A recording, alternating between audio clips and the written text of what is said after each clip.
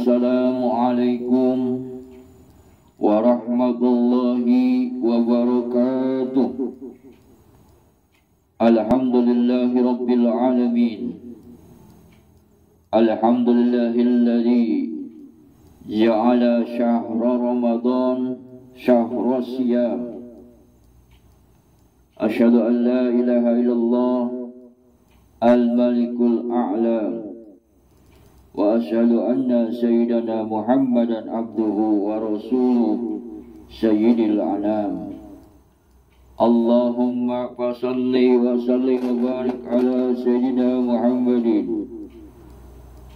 وعلى آله وصحبه أجمعين أما بعد kaum muslimin dan muslimat dimanapun berada marhaban ahlan ya Ramadan Selamat datang wahai bulan Ramadan.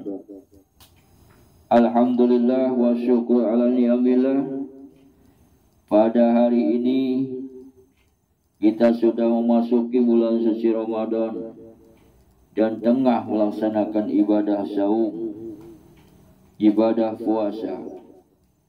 Yang mana ibadah ini sangat mulia dan sangat berkah karena di bulan Ramadan ini adalah bulan yang penuh berkah, penuh ampunan. Sehingga saum pun mendapatkan beberapa hikmah yang besar. Di antaranya hikmah saum itu adalah ditinjau dari dua sudut pandang. Ditinjau dari kesehatan, maka saum bisa menyehatkan tubuh kita semua. Nabi bersabda, Sumu tasihu, berpuasalah kalian, maka kalian akan sehat. Selama sebelas bulan kita tidak teratur makan dan minum kapan dan waktunya. Sehingga apa pun dimasukin jadi kalau seperti itu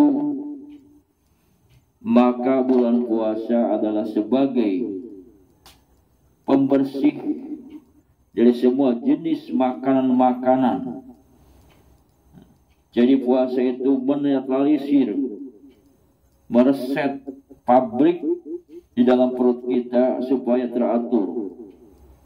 Maka betapa banyak orang yang berpuasa menjadi sehat, menjadi kuat karena kesehatannya sudah pulih kembali.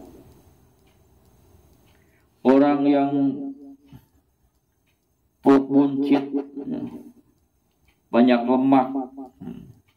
Kalau kita puasa, insya Allah lama demi lama sedikit demi sedikit maka akan berkurang akan hancur akan terbakar. Karena puasa adalah melemahkan atau bisa membakar lemak-lemak yang jenuh yang tidak bermanfaat bagi tubuh kita semua. Itu ditinjau dari segi kesehatan. Di antaranya seperti itu masih banyak.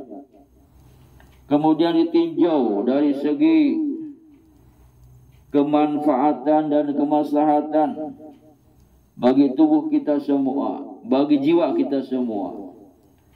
Maka puasa menjadikan kita lebih tenang, lebih tentram, lebih damai, lebih sabar. Karena kita ingat Puasa itu adalah tujuannya untuk bersabar, untuk menahan diri. As-sawm al-imsak. Jadi puasa itu definisi puasa itu saum itu adalah imsak. Menahan. Menahan dari makan dan minum. Menahan dari apa namanya sesuatu yang bisa membatalkan yang kalau di bulan di hari-hari biasa boleh dilakukan di siang hari, kalau di malam hari. Nah, tapi kalau di bulan puasa nggak boleh di siang hari, di malam hari boleh. Seperti apa? Nah, seperti apa namanya itu jima nah, itu bisa dilakukan di malam hari. Tapi kalau siang hari karena puasa itu tidak boleh harus membayar kifarah. Membayar kafar puasa selama dua bulan berturut-turut jika mampu. Nah, kemudian apa lagi? Memerdekakan abid atau membeli orang miskin 60 orang miskin pada harinya satu mud nah itu. Baiklah kaum muslimin sampai di sini dulu kajian kita atau hikmah yang tersirat tersirat di bulan Ramadan. Yang tentunya masih banyak lagi insya Allah kita akan keluar akan gali kembali. Karena ilmu Allah itu sangat luas. Baiklah sampai di sini.